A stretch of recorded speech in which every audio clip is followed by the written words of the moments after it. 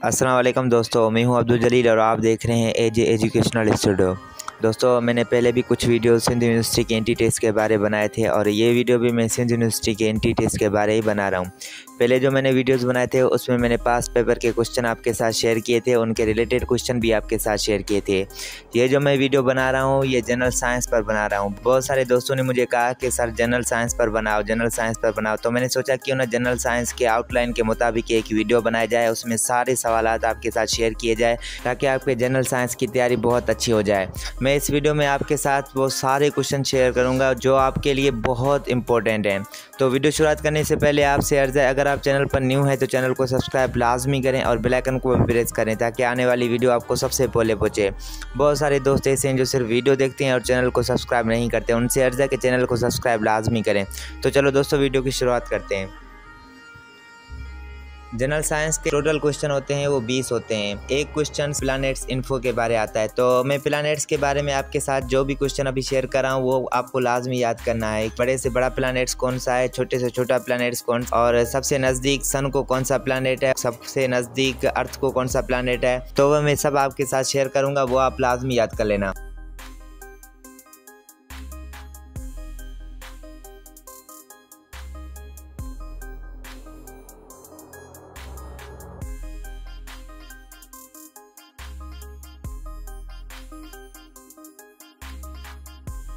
और दूसरे नंबर पर है यूनिट्स आपको यूनिट्स याद करने हैं। यूनिट्स कौन से हैं? जो मैं आपके साथ अभी शेयर कर रहा हूँ, ये आपको लाजमी याद कर लेने हैं। लेंथ का यूनिट क्या है? मीटर, मास का यूनिट क्या है? किलोग्राम, टाइम का यूनिट क्या है? सेकंड, इलेक्ट्रिक करंट का यूनिट क्या है? एम्पियर, टेम्परेचर का यूनिट क्या है? केल्विन, अमाउंट ऑफ़ सब्सटेंस का यूनिट कौन सा है? मोर, इस तरह आपको ये यूनिट्स भी याद कर लेने हैं। और जो थर्ड नंबर पर है, वो है केमिकल सिम्बोल्स एंड फार्मूलाज मैं आपके साथ अभी जो भी केमिकल फार्मूलाज और सिम्बोल अभी आपके साथ शेयर करूँगा, वो आपको लाजमी याद कर लेने हैं। और वो किसने डिस्कवर किए, वो कौन से साल में डिस्कवर किए, वो भी मैं आपके साथ शेयर करूँगा, वो आपको लाजमी याद कर लेने हैं। और इसमें मैं जो एलिमेंट्स शेयर कर रहा हूँ, उनका सिंबल भी आपके साथ शेयर कर रहा हूँ, वो आपको सिंबल भी याद करना है, और किसने डिस्कवर किया, ये भी आपको लाजमी याद कर लेना है।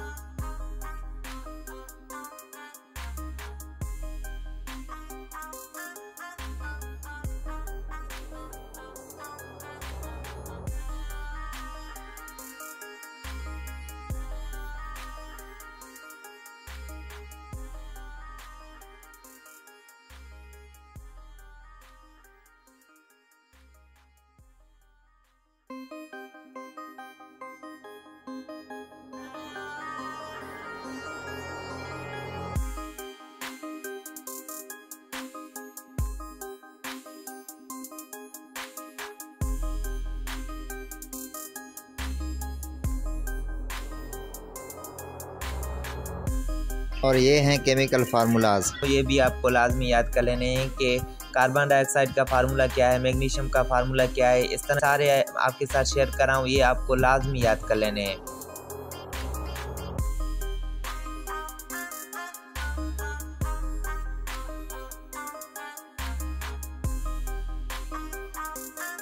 और चौथे नंबर पर आता है ह्यूमन बॉडी फैक्ट्स इंसान जिसम के बारे में कुछ सवाल आपके साथ शेयर करूँगा। इस वीडियो में वो भी आपको लाजमी याद कर लेने हैं, ताकि इस तरह का कोई भी क्वेश्चन आए इंसान के बारे तो वो आप बसानी उसे हल कर सकें।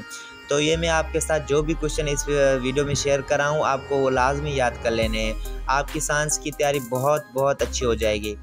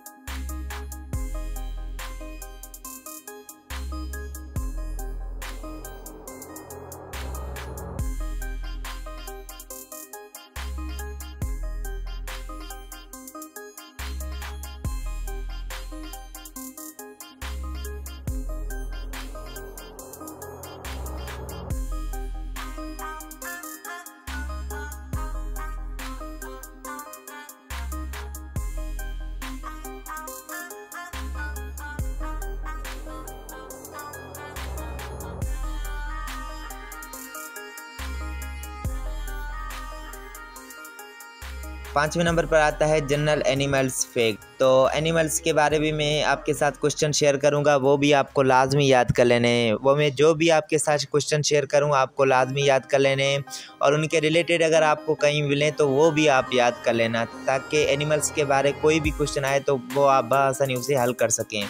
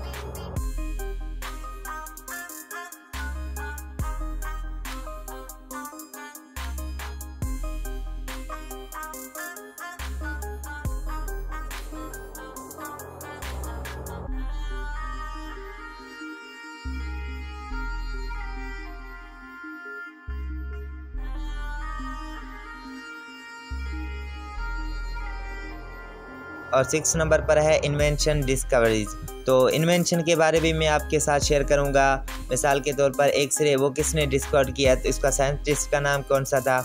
तो इस तरह के मैं जो भी आपके साथ इन्वेंशन शेयर करूँ, वो आपको लाजमी याद कर लेना और ये किस साल में ईजाद हुए तो वो भी साल भी याद कर लेना है। ताकि अगर साल पूछे तो वो भी आप हल कर सकें।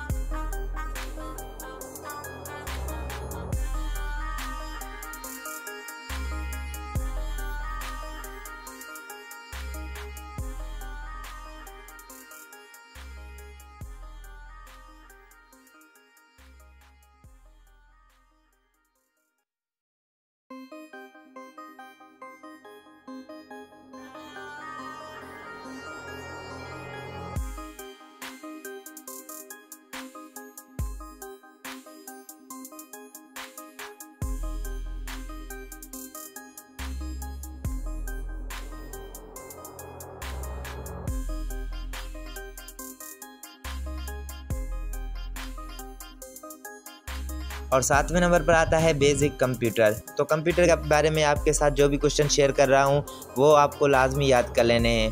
मैं कुछ इंपॉर्टेंट क्वेश्चंस हैं, वो मैं आपके साथ अभी शेयर करूँगा। कंप्यूटर के बारे पास पेपर में कुछ में कंप्यूटर के बारे सवाल हैं और कुछ में कंप्यूटर्स के बारे सवाल नहीं हैं। तो अगर आप याद कर लें तो बेहतर होगा, ताकि इस साल अगर कंप्यूटर के बारे कोई सवाल आए तो आप उसे हल कर सकें। तो ये जो मैं आपके साथ सवाल शेयर कर रहा हूँ, ये आपको लाजमी याद कर लेने हैं।